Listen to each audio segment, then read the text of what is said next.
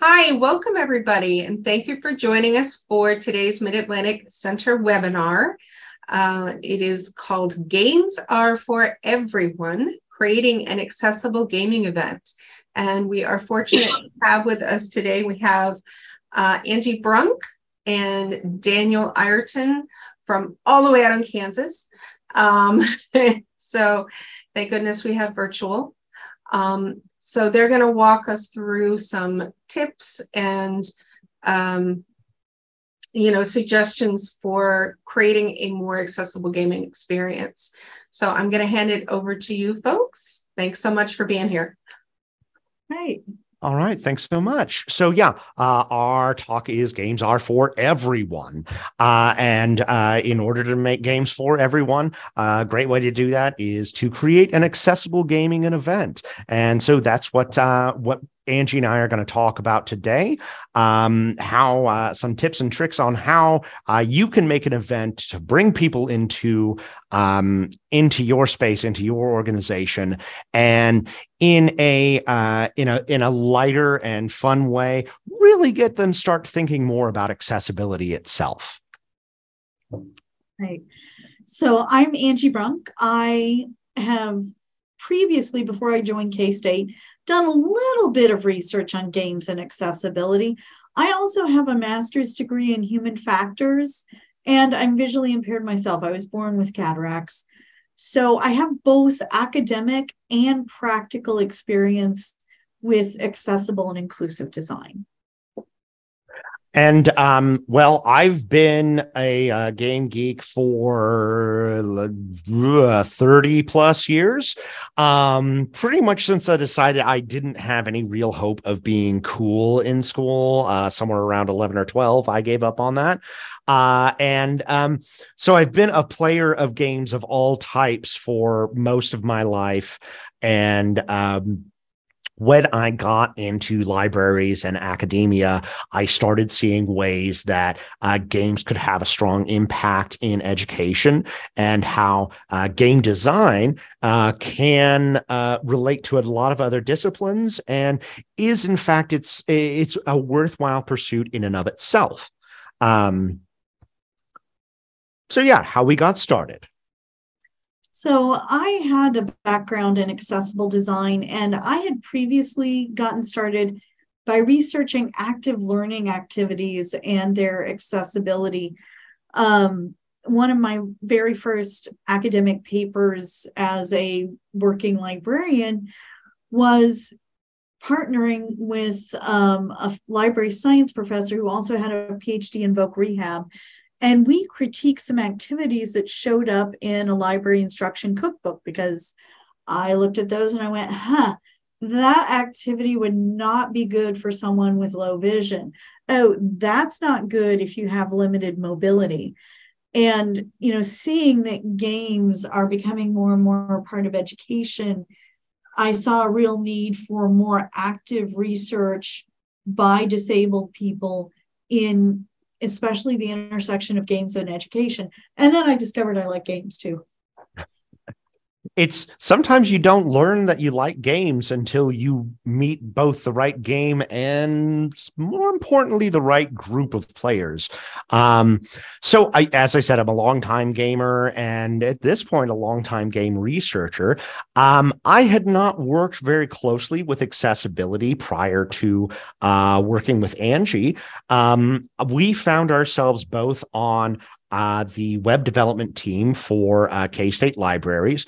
And uh, one of the things that, um, of course, Angie focused on was accessibility. And this was something that almost immediately grabbed my attention as well as an issue that needed uh, needed more discussion really it just we have a long way to go on uh, becoming, frankly, an ethical society as regards individuals with disabilities. Um, and I saw the applicability of accessibility issues uh, with games. And so uh, that kind of led to us uh, finding ways we could dovetail these things together. so we hope to gain a few things by doing this gaming event. We wanted to show off our innovation lab and what it could do. So show by showing off some of the 3D printed tokens that we made or other modifications that we've made to games using our innovation lab. We wanted to create a great gaming event that was welcoming to people. Um, we wanted to get people to think about accessibility without hitting them over the head or being heavy handed in activism, but in a way that would actually lead them to think on their own and to think it was their own idea too. Um, and then we wanted to create more connection between libraries, gaming, and accessibility. So, um, something to consider here too are the types of games, um, because uh, gamers come in a variety of types of people. Uh, they're gonna uh, different games are gonna work both better for different disabilities and just having a broad appeal of things for people to try. Um, social deduction. This is uh, things like Werewolf, Mafia. Uh, little later later on, we're going to talk a lot about Avalon. Um, essentially, you're you're sitting around a table trying to figure out who is the traitor or who is the liar or who is the killer.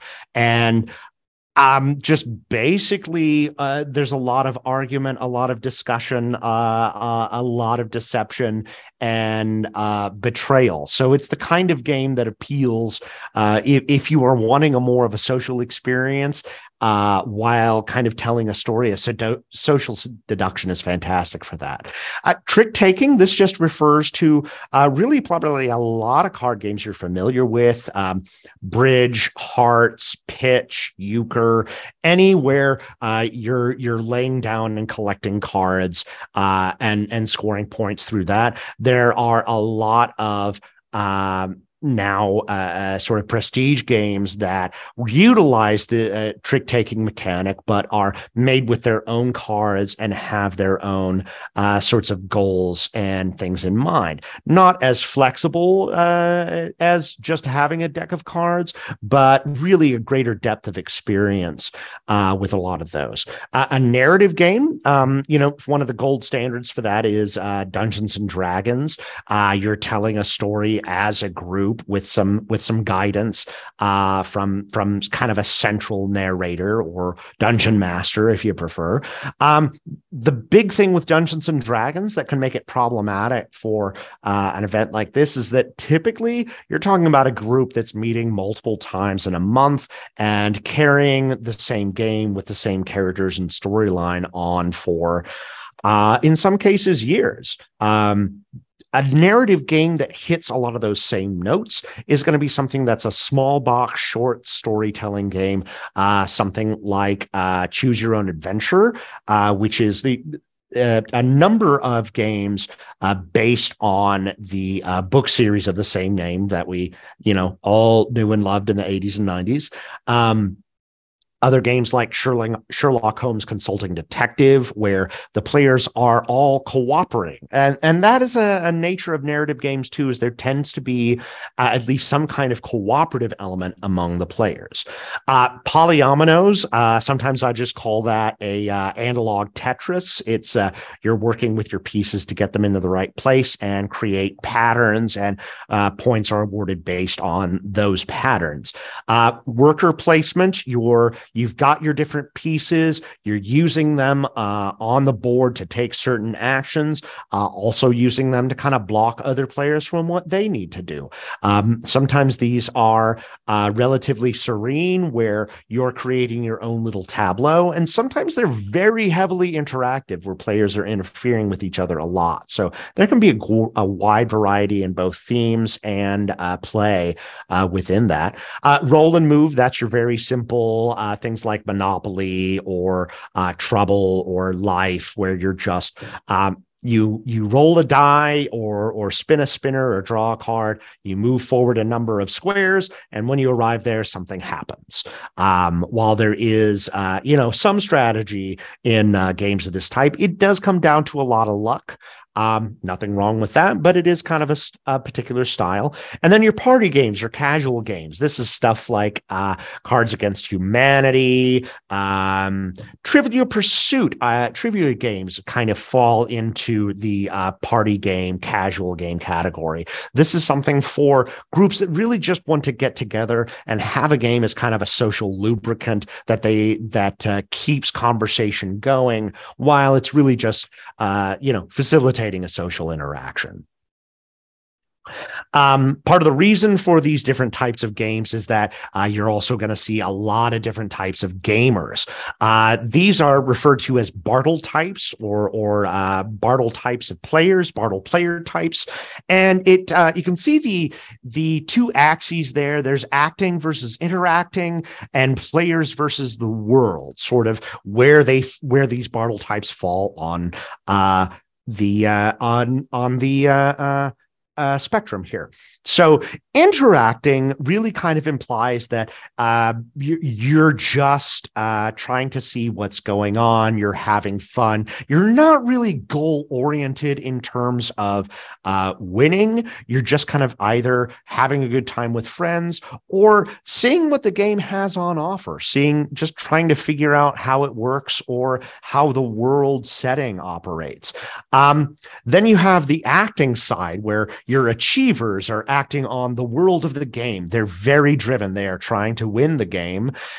And then you've got your killers who are acting on other players. Uh, killers are uh, they can be trolls in a sense. They're not necessarily playing the game to win, though that's a bonus.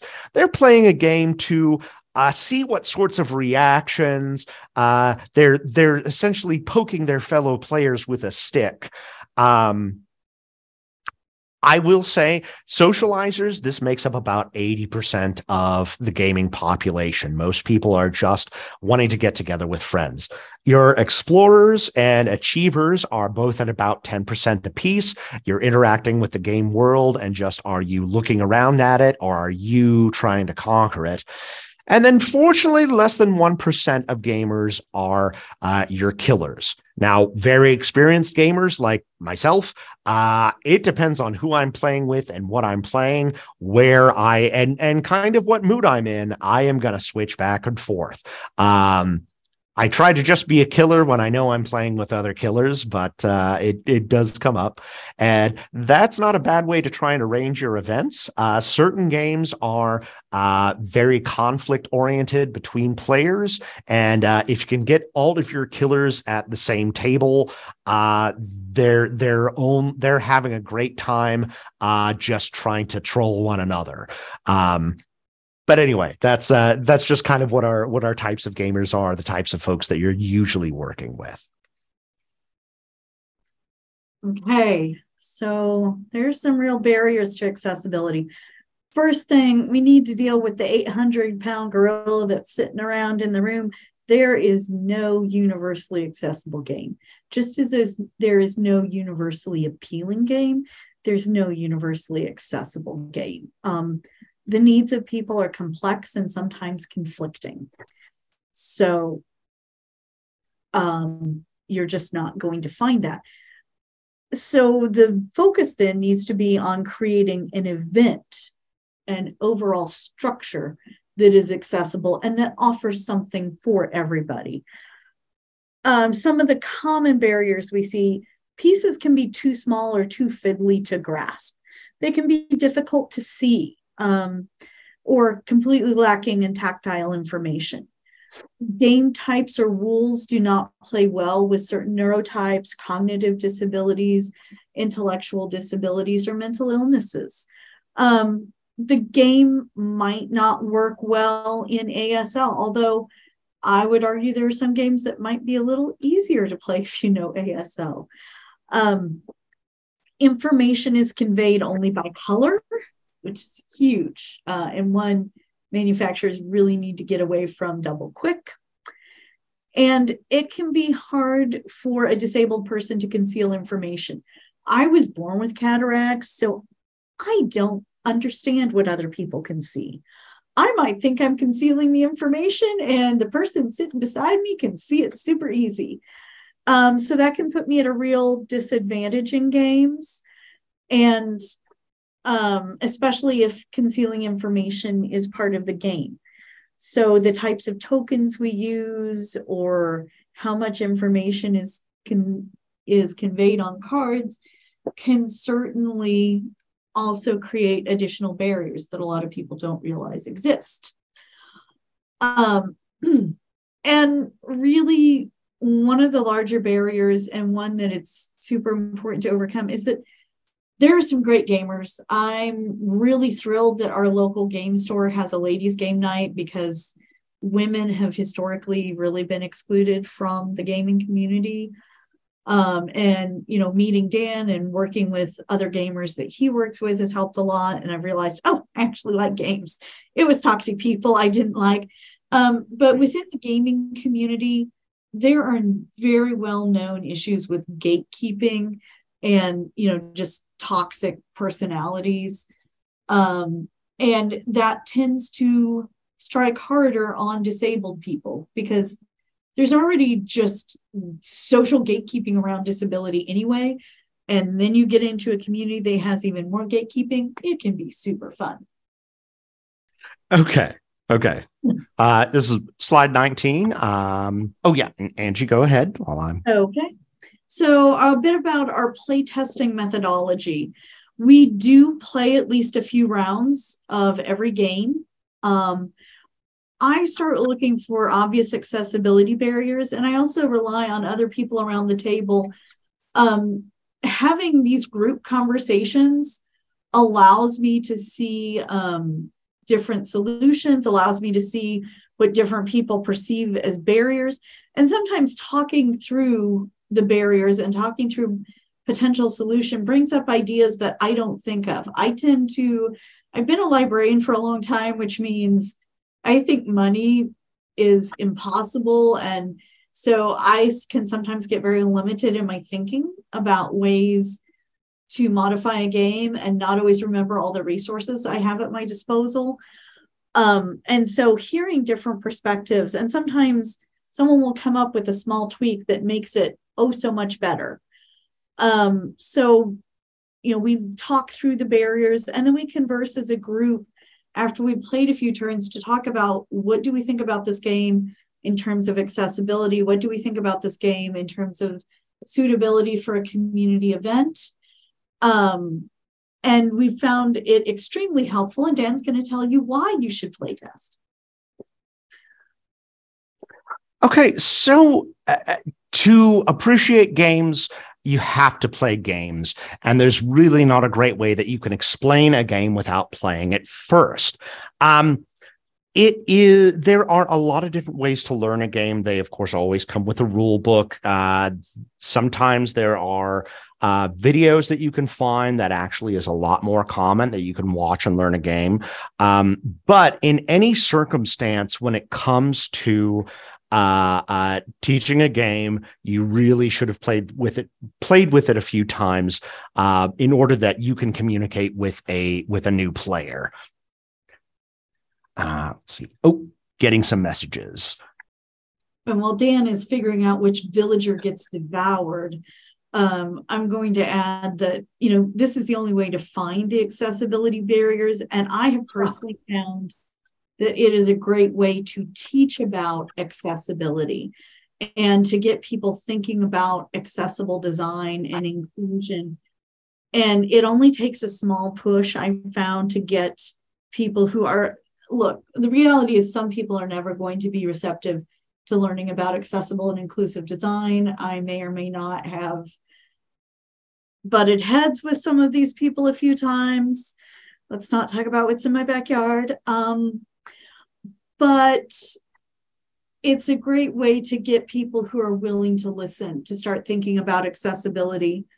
It helps build community. We've built connections all across the university. And in fact, we built a lot of connections with our engineering faculty through the game testing. And we have how many engineers are we up to, Dan, that are on the list to at least come every once in a while? Um, Top of my head, at least two, maybe three at this point now. Yeah.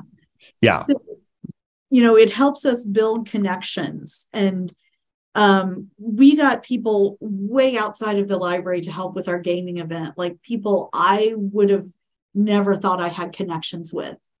But through gaming, we're able to build those connections. And with the psychosocial moratorium, which I'll let Dan talk more about because that's one of his favorite areas.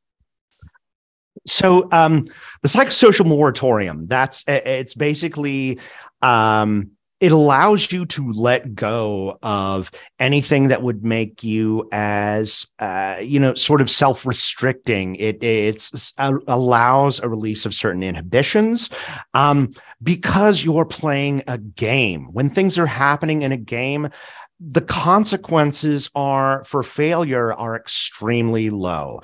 Um, you know, think about uh, to take a to take an early example that most folks might know.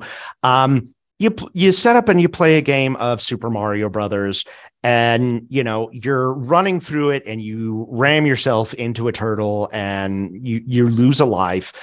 Uh, you start again within seconds you are back already playing, making another attempt. So, uh, one, it's teaching you to iterate, and also uh, failure really doesn't matter. And it, when you're in a situation um, that that failure doesn't matter, but it has a certain social component to it, it allows you to open up in ways because, well, this doesn't matter. This isn't really me. I'm I'm not. Uh, I'm I'm just playing a game. It's just a game.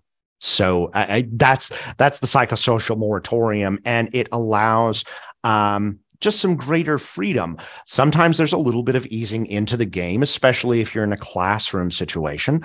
Um, but uh, you know, it, it, it, builds momentum very quickly, and it uh, gets people past their um, uh, sort of uh, inhibitions and barriers. Games are just a fantastic way of going through that. And i don't i i don't have news on on a murder yet. Um well that was unfortunate. It's but... we're we're gonna get there. We're gonna get there. Okay. Um, but I would add too that it facilitates learning games in different ways. I've discovered, you know, as someone who teaches a lot and as a librarian, we think a lot about how the brain works and how do we reach students. Um, so I think a lot about my own learning. And I've realized that in most situations, I want written directions with text. Um, I at least need that to get started on something, but with games, and I'm I think in my case, maybe it's a bit of disconnect because of how my brain deals with visual information being you know being born visually impaired my brain deals differently with visual information. And i just can't make that connection between what the rules are describing and the game. But if i play a game i tend to understand the rules very quickly and could teach the game to someone else very quickly. Uh, yep here we go uh, slide 21 modifications. Ah, yes, we've had a lot of fun with this. Um, and, you know, I mentioned partnerships earlier. I think it's really important to make the point here that your library, your public library, your academic libraries, you know, depending on what type of organization you are, can be great partners in doing some of your own DIY modifications almost every public library now has at least a 3D printer. And they're usually willing to let you use that at cost. So that's going to greatly reduce costs involved with modifications because the costs of using a 3D printer are usually fairly modest. Um, or depending on the resources they have, you know, if you're a nonprofit or a, a city doing a recreational gaming event, they very well might be off, able to offer you some of the services for free. So if you don't have access to some of this technology, unless you're in a very, very small, very isolated area, chances are you have a nearby connection that does have access to, for example, 3D printing, so that we can make tactile tokens. And we'll talk about a game later where the able bodied sighted players chose tactile tokens because that actually adds to the gaming experience. Um, I just started playing Sheriff of Nottingham and I'm starting to think about various ways to do tactile tokens for that particular game. Adding a neutral narrator, like we were talking about the choose your own adventure books earlier, um, adding a neutral narrator not only reduces the cognitive load on manipulating the pieces and following the rules of the story, because that's a responsibility of the narrator. But if you can find someone who's a really good dramatic reader or a little theatrical, a neutral narrator can actually add to the overall experience of playing a game and make it even more fun. Sometimes can, can I can I step in there for, for just a moment, Angie? Yes. So, speaking of neutral narrator, uh, Werewolf is a game that always requires someone uh, to see what's going on. And uh, in this way, I'll be uh, acting as the narrator. Uh, I have been in communication with uh, our werewolves, and I think we're ready to begin. So, again, this is in a small uh, village, and this village has a problem. Um, night falls, and uh, this through this peaceful little town, uh, th- three werewolves. I will give you. I will give the the villagers this much clue. There are three werewolves. You don't know who they are, but as day breaks, oh, I'm I have the worst news uh, for the family of Carla Helton, uh, for she has been uh, found torn limb from limb in her home. Um, clearly, this was not the work of human beings, and something monstrous is afoot. Who could have done this sort of thing? It is now uh, open to all of the panelists, uh, all of our participants, uh, to accuse, discuss, and um, find out who they think might be a werewolf. And then at that, at a point, uh, you will vote someone into exile. A, a uh, potential werewolf will be banished.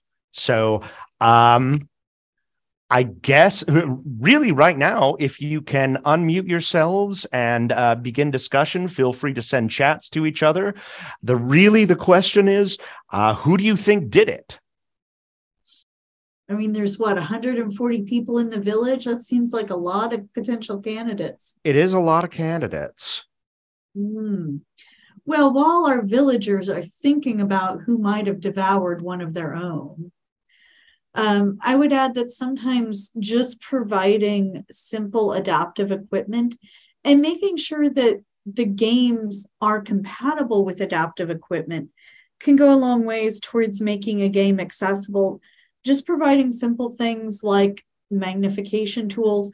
While most people have them on their phones, I know I certainly do.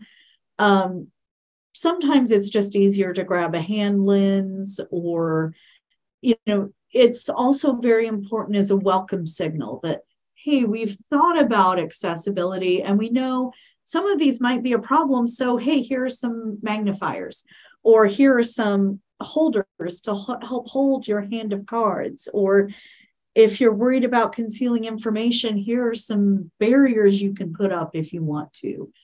Um, but you know, just providing adaptive equipment because one of the things that's often overlooked is making sure that a gaming event is accessible and is for everybody also means just throwing out those little signals that your adaptive technology is okay here. Um, your needs will be respected, and we will try to find a way to get you into a game that you enjoy, especially if you are willing to tell us your needs and to say, well, maybe this game doesn't work for me, but hey, could I bring my own? Um, so just setting out that signal is very important. Now, do we know who has been banished from the village, or should we go on to the next slide? Oh, well, it seems like we're having some trouble with communications, so I think we might uh, we might do better to set this aside for the moment. Oh, okay. um, I will uh, to kind of describe the game in a bit more detail. Uh, when one is in uh, is in a group like that. Um,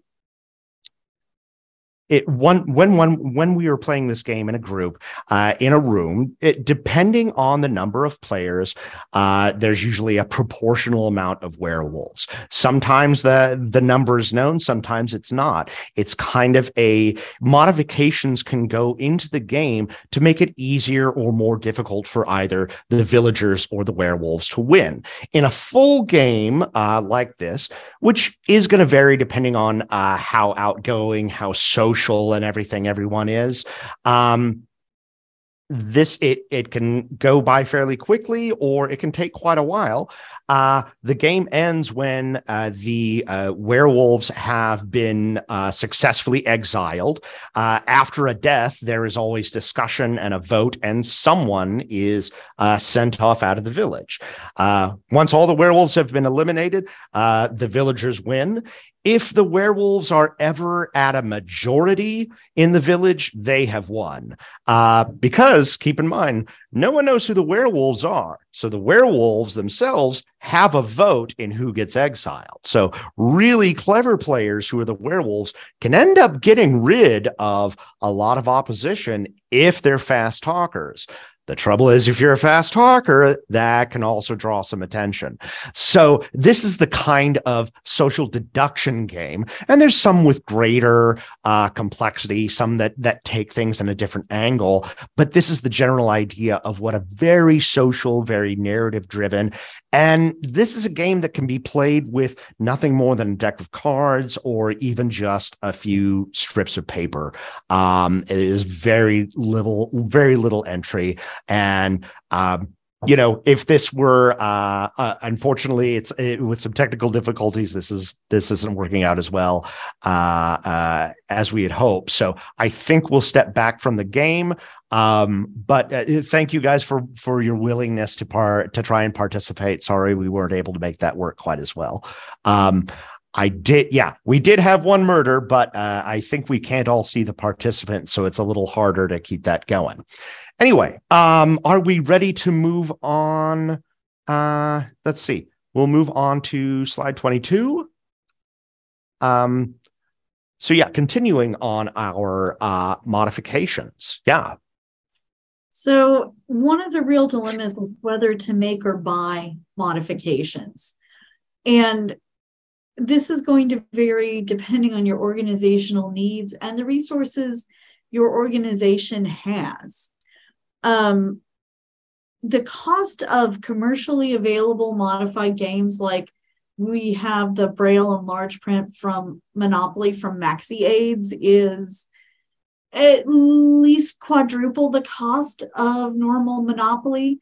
However the cost for brailled uno and skip-bo cards was quite low. I'd say maybe double standard cost? I th- I think we paid twenty dollars for both games uh, in Braille. So, so yeah, about double what what you what you'd normally expect. Yeah. So, but twenty dollars is a, a fairly reasonable investment that you know most people would be able to make at some point. Whereas a hundred dollars, especially for a game, and especially for Monopoly, which chances are it's going to get thrown up in the air. Someone cries, Okay, grandma, you win. Are you happy now?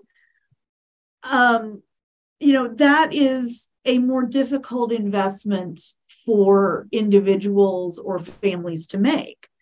So, where that break point is, is going to vary quite a lot.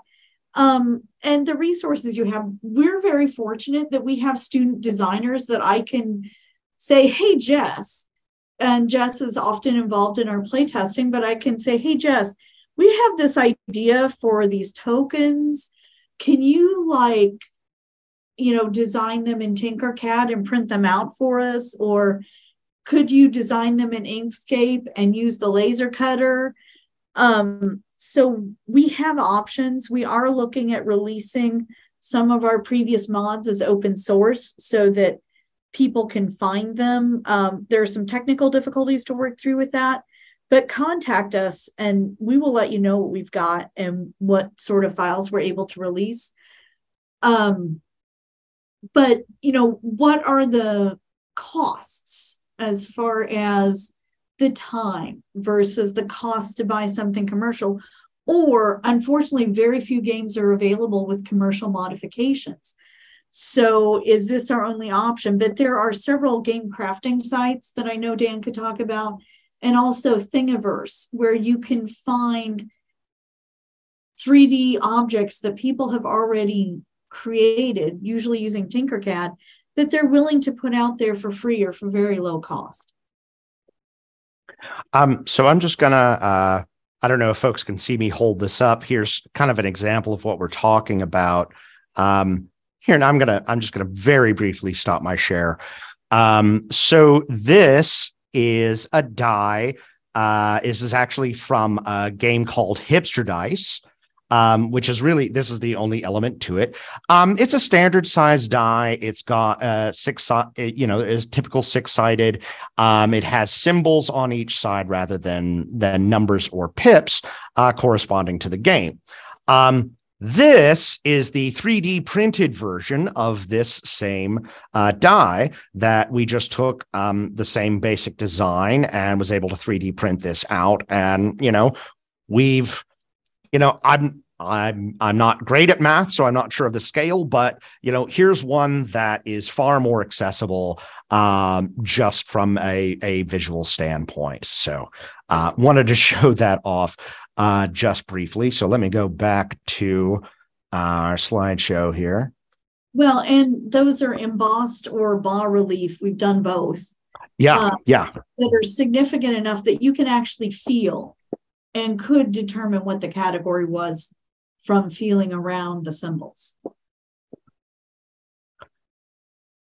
Uh, so some of the uh, some of the things that we purchased. This is uh, the the Braille and large print Monopoly.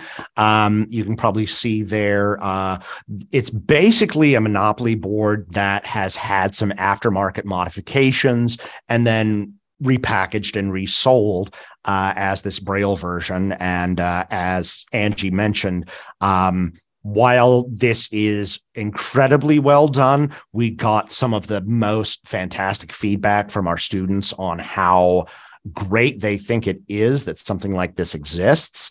Um, you're going to pay probably about 20 bucks for a new uh, a new inbox monopoly and this this is a hundred dollars um so just uh, you know it, it's the it's the disability tax unfortunately um when really you could easily ma- mass produce um a board that has this overlay and uh you know, printing larger cards. It's just doing it on a smaller scale makes it very difficult.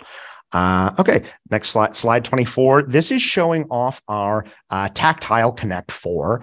And I'll just draw your attention to uh, how the uh, yellow uh, uh, um, yellow pieces have a hole drilled through the middle. Um, that overcomes both color blindness and um, you know other visual impairment because you can feel the difference. Uh, this is a modification that is it's honestly kind of a no brainer. Um, you know you could buy connect 4 and if you've got uh, the simplest power drill or hole punch at home you can pretty much make this same thing. Um, but again this was something purchased uh, by a company that then does aftermarket modifications for this. Uh, so you know connect 4 five bucks at Walmart. Uh, this was, I want to say, 15 to 20. So, you know, again, not outrageous, not difficult to do. But again, if we did this as if industry practice uh, would build this in, it's a very simple modification. It could be done with very little increased in cost and and not necessarily passed on the, to the consumer. And not only does this make a better game uh, more accessible to more people, uh, even for the able-bodied, it enhances the experience. Um, you've just got another way that you can tell. It's another quick way to read it. Uh, it also, you know, it gives something for younger players to kind of have a little bit more uh, tactile connection too. And since this is a game uh, mostly designed for younger players, I think it's it's great for that as well. All right, so this is Avalon. Uh, Avalon is another social deduction game. It's a bit more elaborate than Werewolf, uh, but it does have a, a lower cap. Uh, takes about five to 10 players, and uh, players are either uh, loyal servants of Arthur or uh, evil minions of Mordred. And uh, after a number of quests are either succeeded or failed, uh, one side or the other wins. But no one knows who they're who, who is going on these missions and if the if mordred is sent on a mission he can decide that it fails. So again uh, it's it's a um, kind of a dance of uh, hidden movement and hidden intentions and backstabbing. Very very social. Um, and uh, but also plays really quickly uh, this one, it, it is uh, the basics of it are card base.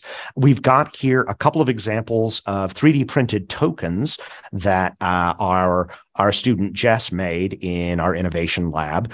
Um, these can be the the little bags there; they can be hidden inside that. And so, rather than having a card that you have to keep secret, everyone has a tiny little bag that they can reach in and feel who they are uh, without revealing that information. So very tactile and much easier to keep things a secret. Uh, and uh, again, this was something where we had these tactile tokens out, and um, everyone went for them. Uh, Avalon you know this uh, our event took place over the course of an entire afternoon running from uh, 1 p.m to 7 p.m and um, I don't think the Avalon table was ever not full. Um, it, it people went for it and were really impressed with uh, the modified tokens that we created. Uh, so this is one that is actually uh, not an not an aftermarket uh, modification per se. Uh, this is Azul, uh, which is a very uh, a rather simple and absolutely beautiful uh, pattern building game.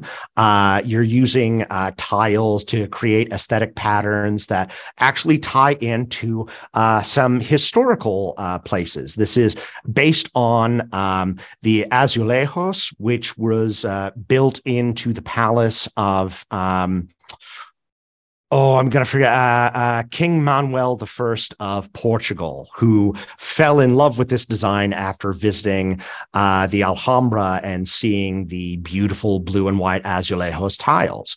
Uh, so anyway, it, has got there's a little history lesson in there for you too, and then um, the original game, the pieces, uh, it was hard to kind of control on the board because they would just lay on top of it. So they later released this Crystal Mosaic expansion.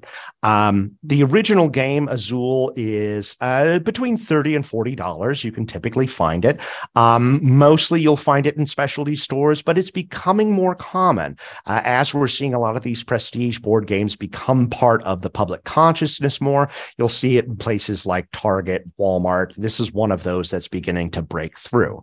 Uh, the Crystal Mosaic expansion, uh, it was about $10. It adds a couple of different options for board setups. And then the main feature, and if you can kind of tell there, is this sort of plastic overlay. Um, this is this makes the game far more accessible uh, for folks that have uh, difficulty with fine motor control uh, because it allows you, it, it just holds the pieces in place better. Uh, um, an errant you know, hand knocking against something isn't going to scatter your pieces. Uh, uh, an innocent jiggling of the table isn't going to loosen things up a bit. And here we have, again, something really not designed with accessibility in mind per se. This was designed for a typical consumer to uh, enhance their own experience with the game if they wanted to shell out really just a few bucks more to do it.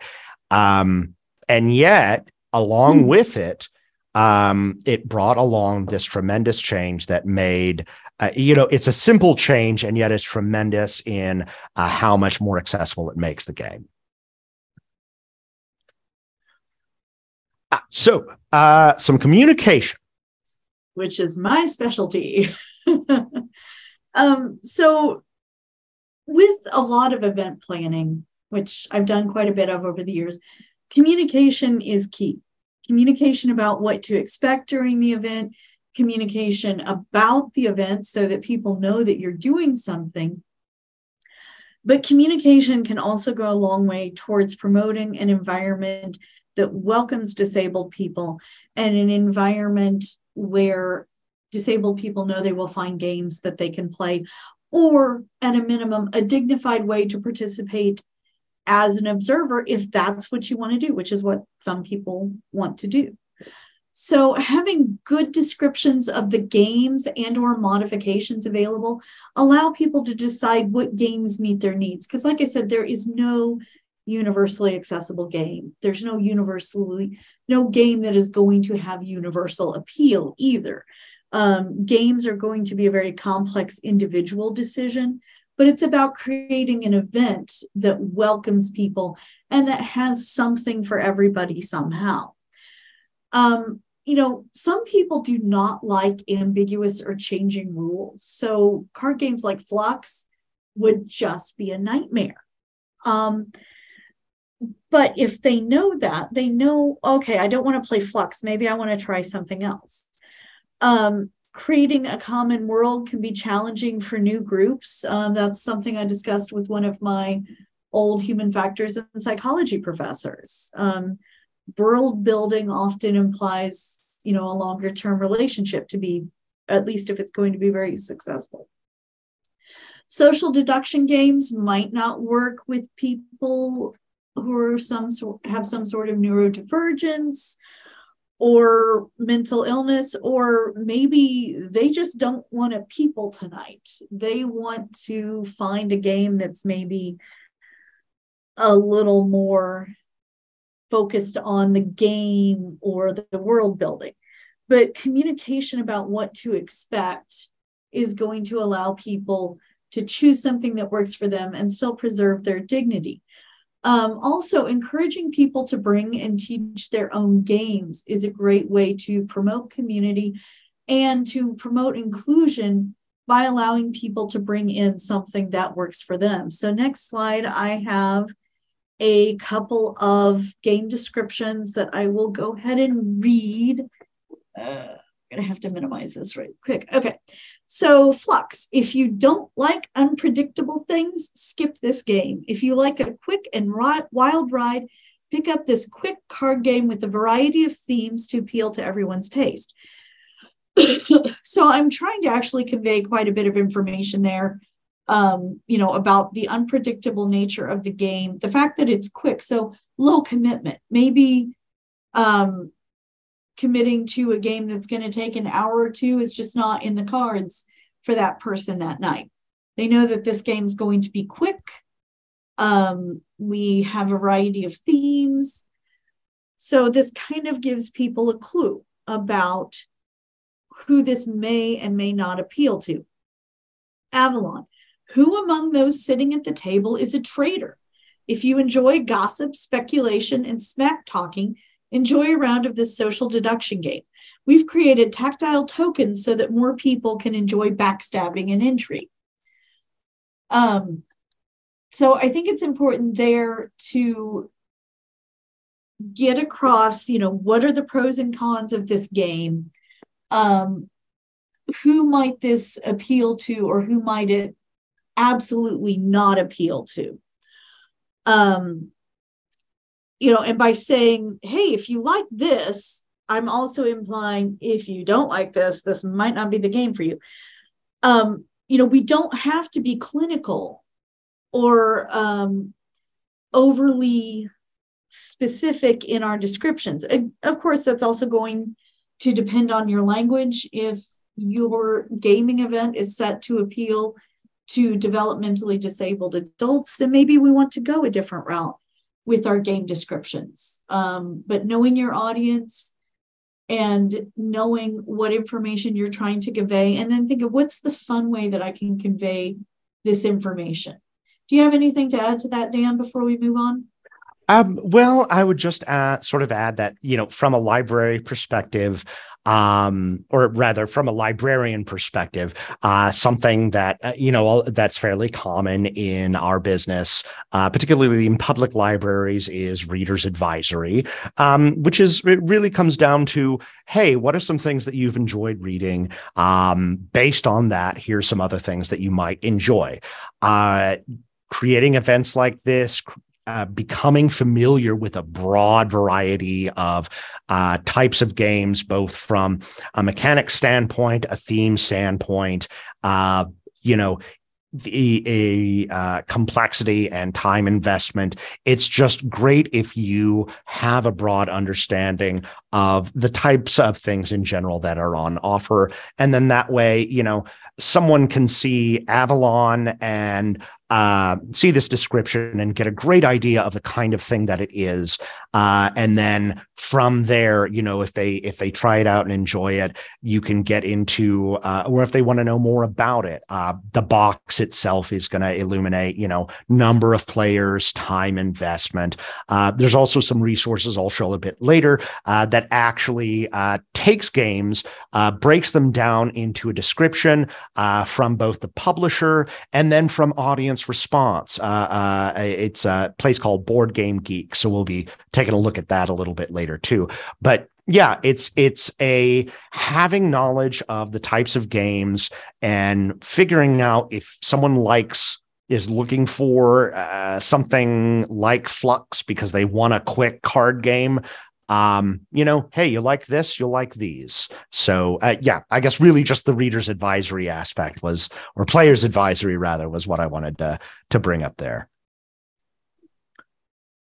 All right, so uh, slide 29, uh, game day setup. So, um, Hale Library on our K State campus. It is pretty centrally located. Um, it is uh, one of the larger buildings on campus. There's about 500,000 square feet.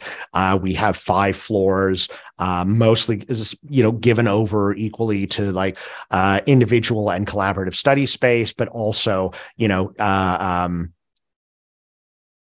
neighborhood of 1 million physical volumes plus our you know hundreds of databases. It's a big space and it's a space that does require some navigation. So uh, trying to figure out where uh, to have this so that people who knew about the event uh, could come in and find it easily and some place that had a lot of traffic uh, so that passersby uh, would see it and also be interested. Um, so yeah, we made just kind of an arch very near the entrance to the library, uh, but just out of the way enough that it wasn't going to impede people coming in and uh, immediately crossing over to uh, seek assistance at at our help desk. Um, but just if they were progressing there, there was no way they were going to miss the fact that hey, there's a bunch of board games that are over at the other end here. Um, ringers at several tables. So uh, when you create an event like this, um, even if you have knowledge of all of these games, you cannot be at every table. It's fantastic to have some floaters that can move around and make sure how things are going. But if you possibly can, uh, have a ringer to keep an eye on either each table or to keep an eye on several tables so that as folks come in, they don't need to sit down and try to teach themselves the game. Uh, that some experts gaming you know experienced gamers they can absolutely sit down and teach it themselves. But it is the new folks that you are wanting to keep an eye out for. They're the ones that are going to need your help. And so uh, you know having ringers that are that are experienced and can teach them is always great uh, it's nice if you can have a, a sort of a logical uh, uh, uh, arrangement, and and it's great to have like lowest commitment to more commitment. So you have kind of on the on the outer ring. Oh, any of these games, uh, these are going to be something I can learn in five minutes and play a whole game in fifteen to twenty. As you move move in, you get into something a little bit longer and a little bit more complex. And then what's uh, what you can do, and what we sort of had planned for, was to have a uh, sort of a centerpiece of okay, this is a big complex game, and uh, you can see all the different pieces and parts, and uh, what kinds of things can happen with it. Um, but you have that sort of going on as uh, more as kind of a conversation centerpiece. Um, you might, if you're very lucky, you might get some people that are willing to jump in and play uh, play something like, um, you know, Twilight Imperium. That's well, depending on who you've got, is going to be at least a four hour commitment to play that. Um, so just kind of uh, we we arranged ours in sort of a series of concentric rings with the most complex at the middle and then outward. Um, but some kind of arrangement like that, so it just makes the flow easier for uh, people to make their way among it. And then uh, the uh, all of our game descriptions that Angie and I created, uh, we placed those on all table on on uh, the signs, and you know had had games more or less set up and ready to go if people wanted to sit down and just get started. Um, it is never a bad idea uh, to have your your descriptions written in a couple of different styles. Um, you know, the Angie uh, had shared her two examples. Um, she is, you know, having studied journalism, she is a bit more concise having studied theater myself, I'm a little bit more verbose. So, you know, we each play to our strengths when we're writing uh, these descriptions. Um, Angie, was there anything you wanted to add to that? Uh, no, I think we're good to talk about what went well and oh, what we would change. What we would change. Okay. Oh, uh, right, right before that, we've got this is just a picture oh, yeah. of some of our students playing uh, Avalon. Um, if you uh, you can kind of see here, um, they are uh, they are playing more or less. You can kind of see the bags and the tokens. Uh, they are using the uh, 3D printed pieces that we provided. Uh, the cards and uh, the sort of, uh, I would say, in some ways, maybe simpler uh, arrangements, those were ignored because they really liked the tactile nature of the tokens that we had created. So, um, you know, really successful in uh, in getting people to connect not just with the games but with the modifications that we created. This was just avalon i i don't know that we can recommend enough as uh, a fantastic centerpiece for an event like this uh, because it works uh, on on just a number of great levels. Uh, so what worked? Our uh, our numbers were uh, fantastic um, this uh, we arranged with uh, a class, a DAS 100 class to come in. Um, that uh, got us, I think, 118 just from, well, uh, we had 118 participants total, and that's kind of a rough count, um, but pretty much where we were standing at there. Um, let's see, Angie, do you want to talk about uh, engagement a little bit? Well, yeah. So the engagement was phenomenal. It was actually even better than I expected. We um, we got coverage from our student newspaper, and you know, if your organization is trying to make more connections in the community, I can tell you as a journalist that this makes a fantastic human interest story, and there are definitely ways to pitch it and ways to do it to ensure that it does not leap into inspo porn, which not a fan of. Um, but we had great engagement. We got some students who spoke up and provided our newspaper with great quotes about what they were learning and what they were understanding.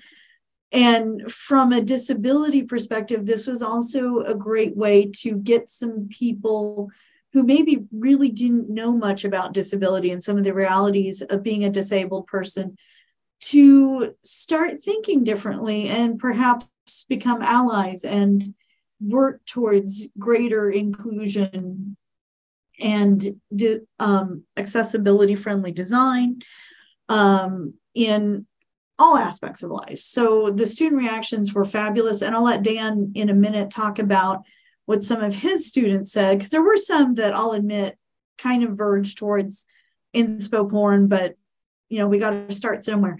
I was kind of surprised. Um, we offered both Cards Against Humanity and Apples to Apples. Nobody took the Apples to Apples. They all wanted it wild. So, uh, but that table was never empty. Um, I was kind of surprised at some of the games that I thought, well, you know, this it might be harder to get students to play these because they're a little more complex or they're unfamiliar. But Azul, uh, Avalon went absolutely swimmingly. Um, but Azul and Sherlock Holmes uh, Consulting Detective are a little more complex games, but those were also very, very popular. Um, I think that our setup scheme worked really, really well. What do you want to say also about some of your students' reactions, Dan? Well, in his the students in his section of DAS 100 had the advantage, we'll say, of uh, listening to me a couple of class sessions before talking about human factors and um, what happens to disabled people in disaster situations. So they were somewhat already primed, but some of the reactions I thought were still quite nice. So if you want to say something about that. Uh, sure, sure. Um, I should mention too, DAS 100 is our introduction to K State culture. Uh, so it's all freshmen, it's all first semester, um, and it's a lot of a, uh, a, a, series of events that are getting them acclimated to uh, cultural experiences that they can find, clubs that they might be interested in, uh, and student services that they may be unaware of. Um, so uh, it was with this in mind that students uh, came to uh, this event uh, as part of an assignment, and uh, several other sections also of this same class also uh, required their students to come to this. Um, with some of my students' reactions, some of the ones that struck me the most. Um, now, this one is probably coming from a religious obligation viewpoint, but there was a young man who um, I had not. He, he was not uh, typically fired up, but his response um but he i he particularly he played a lot of the uh, a lot of monopoly uh he just thought the um it wasn't so much the game, just the uh, changes that were made, the modifications with the large print and braille. He thought were were really cool. Um, and when he learned the price difference, the fact that it's about five times the cost, he was absolutely outraged. He thought our society was failing our uh, was failing people and that from uh, his own personal, very strong Catholic convictions, uh, something has to be done about this. And um, just the uh, there's nothing quite like 18 year old uh, righteous indignation um, for a cause that you yourself believe in. Like there's there's a number of things that you're getting wrong about this, but I the passion with which he wrote meant it it really struck me. And and it gave a sense that like the, these issues are not well known. And when people know about them when they come to understand them um it gives hope that there's uh, um, we're moving in the right direction towards greater accessibility. And uh, so so you know that was just one i wanted to add yeah. yeah. Like I said, some of them were, you know, problematic in one way or another, but uh, the fact that we were getting more buy-in and getting more awareness to some of these students.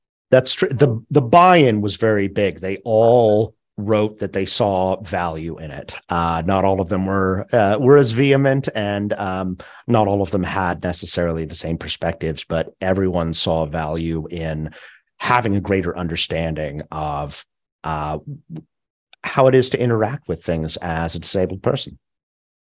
Right, and this is something we were able to do without using disability simulations, mm. without you know, with making it more about an experience than activism, but at the same time, still raising gr- greater awareness and getting people to actually care about an issue and start thinking about it. And then, oh, what didn't work?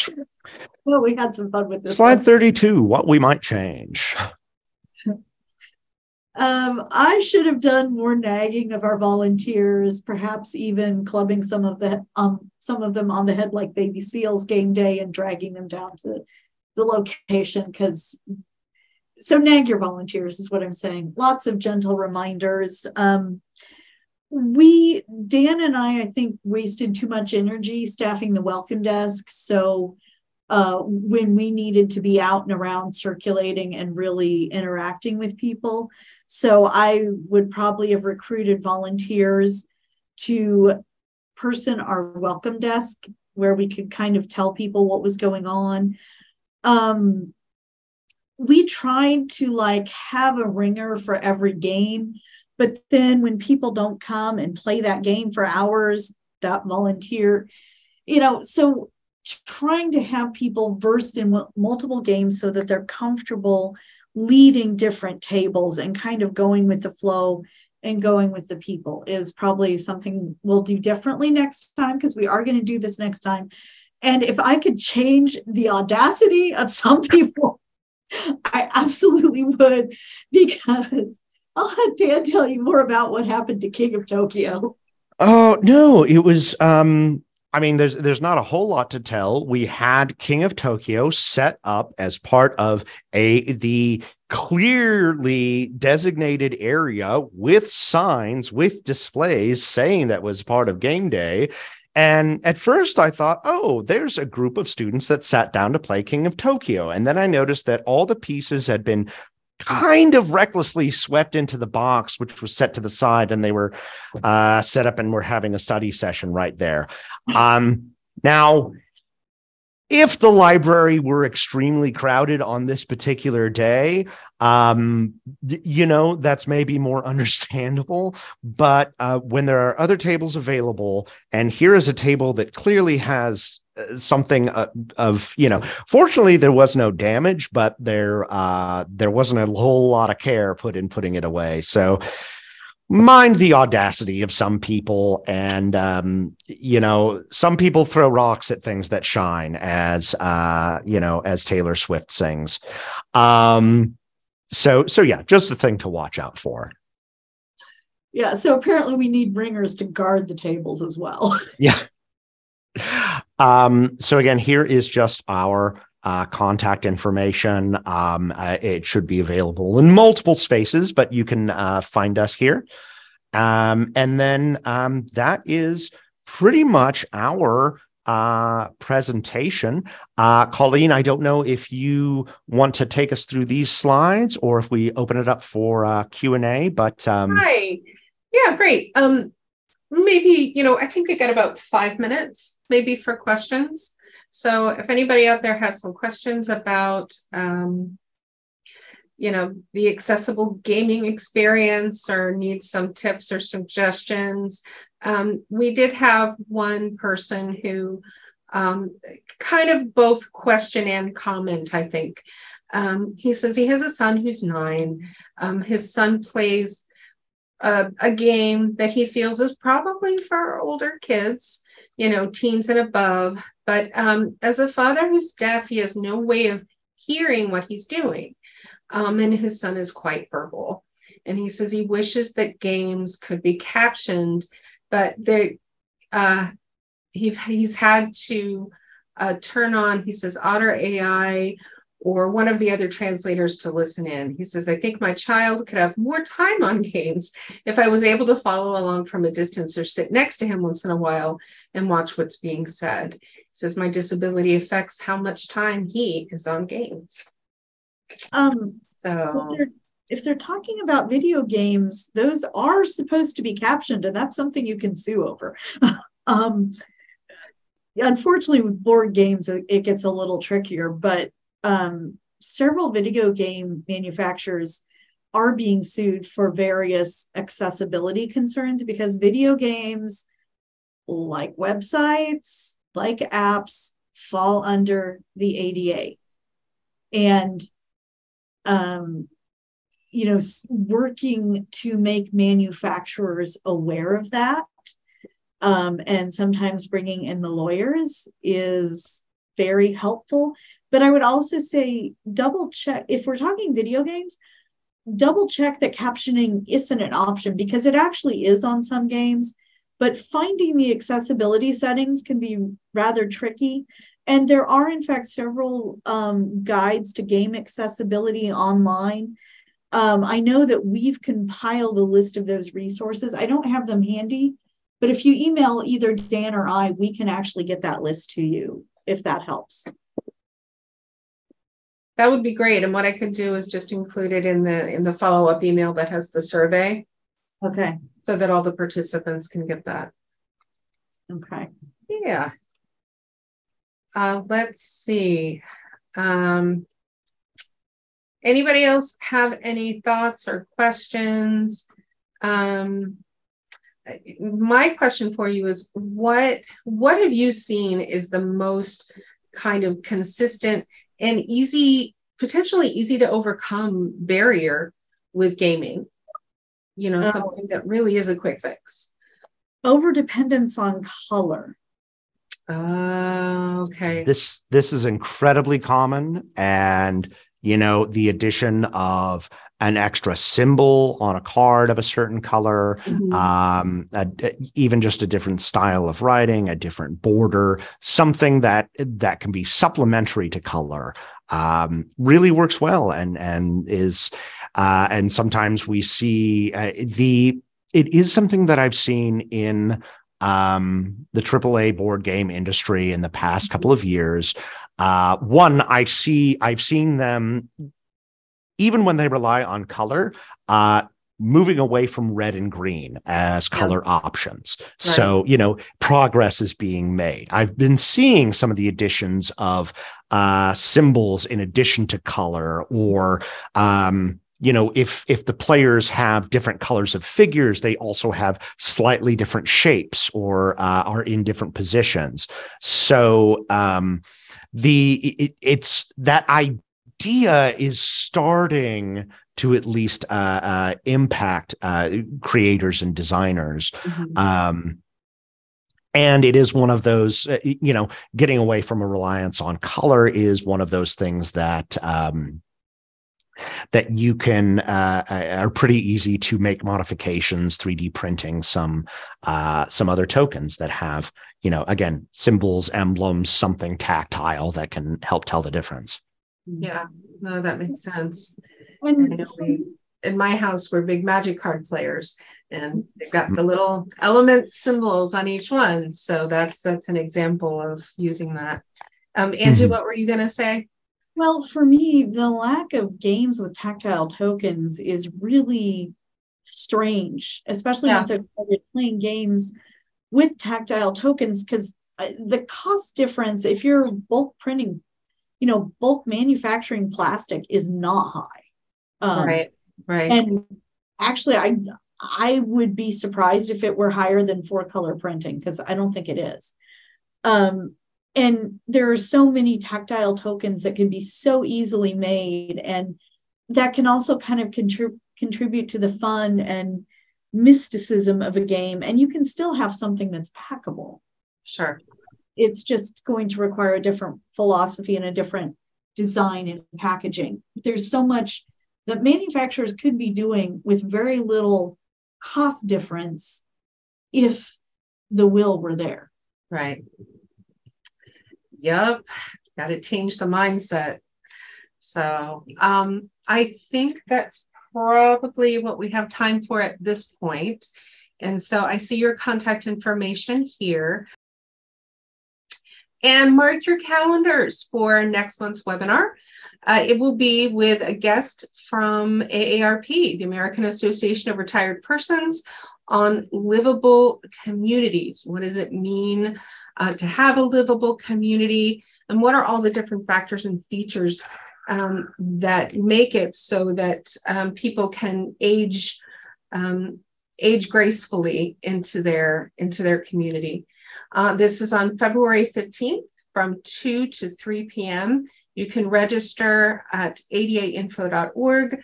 Uh, just go into the training tab, find the list of webinar trainings, and register on the event page. And slide 36, thank you for joining us. Thank you again uh, from the Mid Atlantic ADA Center. Uh, again, you can reach um, any ADA center from across the country by calling 1 800 949 4232. Um, all information, um, all technical assistance information is free. So, um, and then if you um, are, if you have an area code within one of the Mid Atlantic states, you have to call the local number 30 or sorry, if you're outside of our area, you would call the local number 301 217 0124. Um, thank you again, Daniel and Angie, for joining us. Um, I hope everybody out there has a great rest of the day.